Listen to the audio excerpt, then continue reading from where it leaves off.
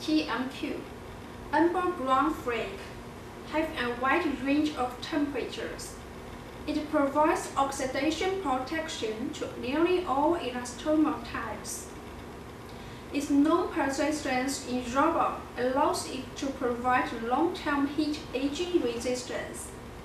It inhibits oxidation catalyzed by heavy metals such as copper and manganese.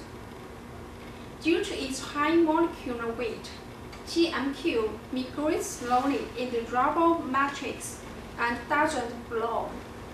So increasing the dosage of RD can improve the anti-aging property of rubber. When producing rubber products, such as the tire tread and conveyor belts, we can use it together with antioxidant 4010 Na or AW.